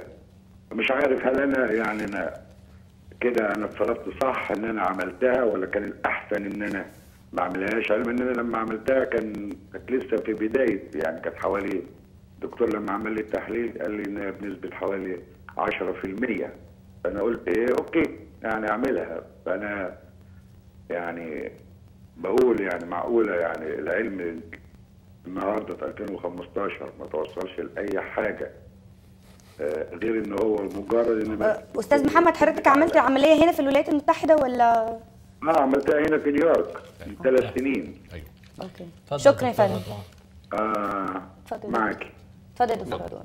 فالس- بعتقد ال- ال- الأخ الكريم عنده سؤالين، أول سؤال هل العملية الجراحية الاستئصال الكامل للبروستاتا كانت هي القرار الصحيح؟ والسؤال الثاني هو آه، موضوع آه، الضعف الجنسي وضعف الانتصاب وال- والعلاقة والرغبة. الزوجية وما هو الحل؟ فبالخصوص السؤال الأول للإجابة على السؤال الأول بدقة في معلومات مهمة آه، يجب الحصول عليها هي ما هي نوع السرطان ما هي درجته اللي بنسميه the grade of the cancer شو هو المرحلة ال stage ف stage and grade اللي بنسميهم ال cancer هذا بيقرر تماما هو طبعا عمره وصحته العامة وإلى آخره. كل هالأمور مع بعضها بتقرر أنه كان استئصال البروستات هو الحل الأفضل ولا كان في خيارات ثانية و- والإجابة على السؤال بيكون هيك. الآن هذا الشيء صار وصار مثل ما بيقولوا في ال في ال في, ال في, ال في الأدب العربي لا تندم على ما فات. ما فات. فال الضعف الجنسي شائع جدا عند المرضى اللي آه، عملوا الاستئصال الكامل للبروستاتا. نحن مثل ما تفضل الدكتور حسام لنا حلقة قادمة إن شاء الله, إن مخصصه لسرطان البروستاتا. لكن باختصار المرضى اللي عندهم منهم ضعف في ال- آه، آه، في في الانتصاب وضعف الجنسي بعد استئصال كامل البروستاتا هناك علاجات فعالة سواء بالأجهزة التعويضية أو بالعمليات الجراحية وتعيد الوظيفة الجنسية بشكل آه، يعني مرضي آه، وشكل جيد وفعال. آه، هؤلاء المرضى غالبا لا يستجيبوا لل- للعقارات مثل مثلا ال- الفياغرا والسيالس بسبب إنه استئصال البروستات بيأثر على الأعصاب وبيأثر على ال- ال- الدورة الدموية اللي هي بتغذي ال- ال- ال- العضو الذكري. فأنا نصيحتي لل- لل- للسائل الكريم إنه لا ما ييأس لا هو ولا زوجته وهذا الشيء آه، اللي هو عم يشكي منه يمكن علاجه بشكل فعال. أخي في بارت بسؤاله قال بالاخر الرغبه إنه حتى قال بدا يفقد الرغبة هيدي إلها عليها بالبروستات ولا صرنا مساله ممكن نفسي نفسية آه. صرنا آه. هون. غالبا غالبا آه، إذا الإنسان في عنده مهمة آه، لا ينجح فيها. بيفقد الرغبة فيها. يعني مثل واحد من مرضاي قال لي قال لي يا دكتور أنا أنا كل ما بروح skiing عم يصير معي حادث بطلت روح. يعني هو دكتور يتوجه للدكتور إيه يا أستاذ محمد؟ الدكتور طبعا مسالك متخصص في الموضوع ده والدكتور رضوان اتكلم عن الموضوع في الحلقة السابقه إن إحنا برضو نتكلم برضو يعني برضو القرار إنك أنت عملت عملية ده طبعا ما نقدرش نحكم عليه بس دلوقتي في tumor boards فهم بيحددهم فممكن القرار ده يكون قرار صائب. والموضوع برضو موضوع الأورام ده موضوع حياة أو موت. فطبعا إنك أنت عملت العملية دي حاجة ما تندمش عليها. موضوع اللي هو بقالك ثلاث سنين بتعاني من الموضوع ده طبعا آه، في حلول موجودة وفي زي الأجهزة التعويضية وإحنا عندنا عيانين كتير جدا بيعملوا الموضوع ده حياتهم بترجع حتى بيقول لك أفضل من الأول. صحيح. فطبعا لا يعني شوف دكتور مسالك متخصص في الموضوع ده عشان مش كل دكا- دكاترة المسالك آه، بيشتغلوا في الموضوع ده. فتشوف دكتور متخصص بيعمل عملية توضيعية آه، ال- ال- الجهاز التعويضي حياتك بترجع أفضل من الأول الحاله النفسيه هتتحسن والرغبة هتزيد. والعلاقة الزوجية. تتحسن تتحسن أيضا. يعني باختصار كلنا عم نشيب. مثل ما قلنا البروستات مثل الشيب والكل له لازم في حل. لكن في حلول. في حلول. في حلول جيدة وفعالة. فينا نصبغ يعني. تمام. آه، ناخد معانا ست أم محمد من واشنطن. مساء الخير ست أم محمد. ألو مساء الخير. أهلا وسهلا بحضرتك. سؤالك يا فندم. والله أنا سؤالي للدكاترة بمسي على الدكاترة كلهم. مساء الخير. أهلا مسنون آه أنا بس بسأل أنا عندي الكلى من حوالي ست سنين أو سبع سنين. آه، بتطلع وتنزل يعني. كانت في الأول 1.5 وبعدين رجعت 1.58 حاليا واقفة على 2.4 ساعات تطلع وساعات تنزل. سألت الدكتورة قالت لي إن هي مش من الأكل من المية. بس أنا عندي سكر وعندي ضغط وعندي آه، تضخم في القلب. هل ده آه، يعني الحاجات دي هي اللي بتضر الكلى ولا حاجة تانية يعني؟ وإيه الأكل اللي أقدر أكله إن هي ما الكلى ما تتضرش أكتر من كده؟ شكرا شكراً. محمد على السؤال. طبعا. آه، زي ما اتفضلت مش موضوع مية ولا حاجة موضوع إنك أنت عندك زي السكر أو الضغط دي بتعمل حاجة اسمها chronic kidney disease فواضح إن حضرتك الكلية عندك ابتدت تتأثر من الأمراض المزمنة اللي هي الضغط أو السكر. آه، دلوقتي أفضل حاجة تعمليها لازم السكر بتاعك يكون مظبوط بدرجة عالية جدا والضغط مظبوط بدرجة عالية جدا عشان نقلل المرحلة اللي الكلى بتاعتك يحصل فيها أي تدهور. بالنسبة للأكل هو بس الحاجة اللي هي البروتينات بس عشان البروتينات بتزود الكرياتينين عندك. فاحنا الناس اللي بيبقى عندها chronic kidney disease اللي هو مرض مزمن بننصحهم إن يقلل البروتين عنده. آه، فطبيعي إن إحنا بناخد مثلا 1.2 من 10 ل 1.3 من 10 جرام بروتين للكيلو مثلا. لو الواحد مثلا المفروض ياخد 70 أو 80 جرام في اليوم المفروض تاخدي 8 يعني 0.8 يعني 8 من 10 يعني تاخدي حوالي آه، لو وزن 60 كيلو مثلا حوالي 50 جرام بروتين كل يوم. فدي الحاجة الوحيدة بس في البروتينات تقلليها عشان تخلي وظائف الكلى بتاعتك ما تقلش بسرعة. بالنسبة لقصة إنه عم يطلع الرقم بين 1.5 و 2.5 هي ذكرتي إنه عندك تضخم بالقلب فممكن كثير انت عم تاخدي واحد من مدرات البول فحسب اختلاف نسبة المي بجسمك حتختلف الكرياتينين. بس واضح انت مجرد حكينا برقم 1.5 صرنا عم نحكي في injury في جرح كبير بالكلاوي وتأثرت already ناخد معانا غالب من شيكاغو. مساء الخير غالب. ألو مساء الخير يا فندم. اتفضل سؤال حضرتك. شكرا. اتفضل يا فندم سؤالك. سؤالين. آه، اولا بالنسبة للبروستات اذا آه، شو ال- ال- الأسباب اللي آه، تعمل التهاب البروستات وكيف شو أفضل علاج له؟ لأنه بعرف إنه في اسم الدواء ايكوفلين في وكيف ممكن الواحد يتجنب أعراض ال- الالتهاب حتى ما يكون عنده التهاب؟ ممكن لأنه لما غيرت انتقلت من ولاية لولاية فما بعرف يعني هاي المية ممكن تكون سبب أو لا.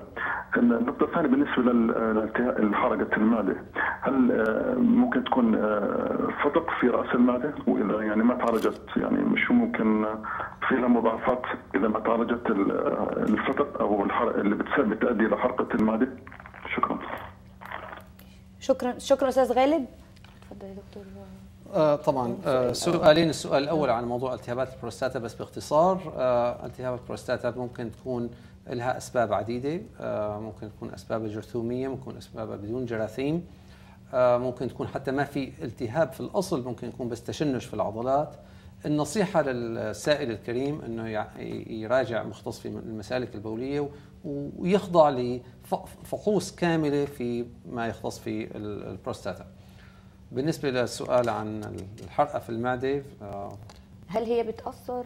و- و- لا بالنسبة للحرقة في المعدة هذا موضوع منفصل عن سر- عن عن التهابات البروستاتا. الحرقة بالمعدة نتيجة زيادة ال acid ما لها علاقة بالبروستات وبدك تراجع طبيبك مشان تاخذ antacid وتشوف قد إيه إذا صار لها فترة زمان يمكن تحتاج لتنظير.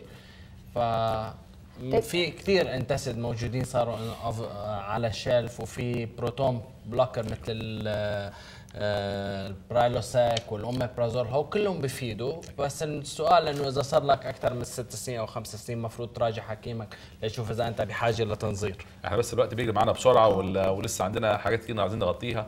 والساده المشاهدين بالنسبة اسئله كتير جت على الفيسبوك آه، هنروح نحاول نرد عليكم على الفيسبوك على الأسئلة. آه، بس عشان الوقت عندنا قصير عشان نخلص ال- البرنامج مع دكتور رضوان. دكتور رضوان دلوقتي من موضوع تضخم البروستاتا هل الموضوع ده بيؤدي لقذف سريع؟ نعم في ممكن في بعض الحالات خصوصا عند يعني الشباب آه، في مقتبل العمر إنه آه، آه، بعض أمراض البروستاتا منها تضخم البروستاتا منها التهاب البروستاتا المزمن إنه يؤدي لتخريش وحصول ال- ال- القذف السريع وطبعا هذا علاجه بالمضادات الحي- الحيوية بالإضافة إلى علاجات أخرى ممكن يكون له فائدة. القذف السريع طبعا هو موضوع كبير وشائك وله. وله يعني مستتبعات وملحقات آه، يستحق يعني مناقشة أطول من هيك. طب إزاي دكتور رضوان نعالج موضوع تضخم البروستاتا ده؟ التضخم البروستاتا يمكن علاجه في آه، بأربع طرق مختلفة. الطريقة الأولى هي اللي بنسميها ال observation يعني آه، فقط المراقبة بدون أي معالجة دوائية هذا بيكون عن بعض المرضى ال- هل الأعراض عندهم خفيفة يعني اللي مثلا بيقوم بالليل مرة وبيرجع بينام بسرعة وما بينقصه النوم. هذا ممكن إحنا نتركه تحت المراقبة. وخلال كل كل نصف سنة أو كل سنة بيراجع مرة وبنتابع الأمور. ال- العلاج الآخر هو الع- العلاج بتغيير نمط الحياة. يعني مثلا آه، آه، اللي بنسميه ال fluid manipulation يعني التغييرات ال- السوائل. فمثلا من تخفيف ال- ال- القهوة القهوة آه، معروفة إنه بت- بتؤدي لل الشائع إن كل ال- إنه الإنسان يطلع أكثر على الشباب الحمام. يعني القهوة منتشرة اطلع على الحمام أكثر يعني تعدد مم. البيلات والإلحاح. فكثير ناس من الناس اللي عندهم ضخامة في بدايتها ضخامة البروستات بيلاحظ إنه إذا شرب قهوة كثير آه بصير عنده إلحاح. بصير إذا بده يروح على الحمام بده يترك الاجتماع المجتمع عليه ويغلق التليفون. إذا كان عم يحكي على التليفون يركض على الحمام. طبعا ال- العلاج ممكن أيضا يكون له موضوع ال- ال- يعني تخفيف الكحول آه، تخفيف شرب السوائل في آخر ساعتين قبل النوم. في عديد من الأشياء ممكن نحن نعملها لنخفف الأعراض بدون أدوية. الطريقة الثالثة من العلاج هي بالأدوية بالعقارات عن في أقراص في حبوب ممكن يأخذها الإنسان في عدد من الحبوب في حبوب ترخي البروستاتا بتخلي إنه تدفق البول يكون أسرع وأفضل وأسهل. زي إيه دكتور رضوان مثلا؟ مثلا في أدوية اسمها تامسولوسين ألفيزوسين. طبعا الأسماء التجارية هي فلوماكس رابا فلو وغيرها.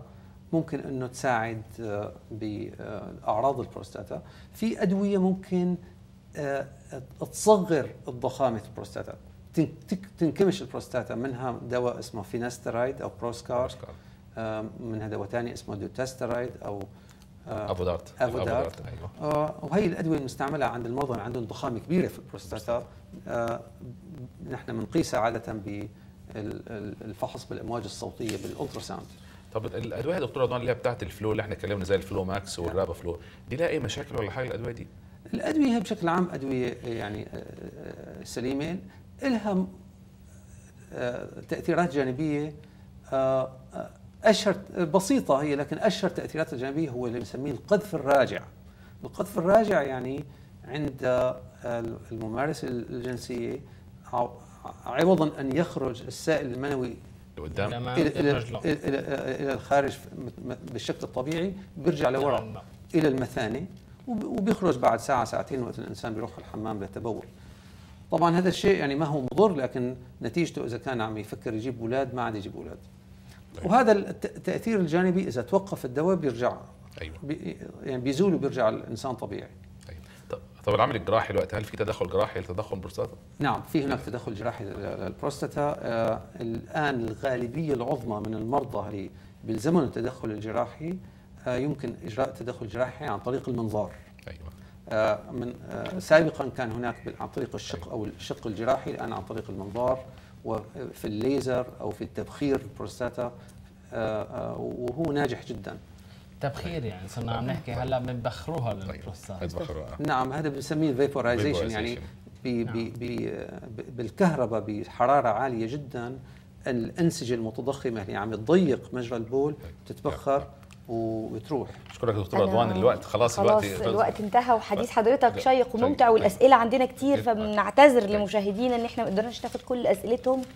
وشكرا حضرتك دكتور رضوان ميرسي النهارده يعني كانت حلقه أكتر من ممتعه ومفيده للساده المشاهدين. ميرسي دكتور حسام ميرسي دكتور علي وبشكر الساده المشاهدين وإن شاء الله بإذن الله نلقاكم في الأسبوع القادم. وهيكون معانا دكتور مصطفى الخشاب وهتكون معانا الحلقة عن السكتات الدماغية. نلقاكم في الأسبوع القادم ونتمنى لكم كل الصحة والعافية. إن شاء الله وشكرا. تصبحوا على الف خير. شكرا.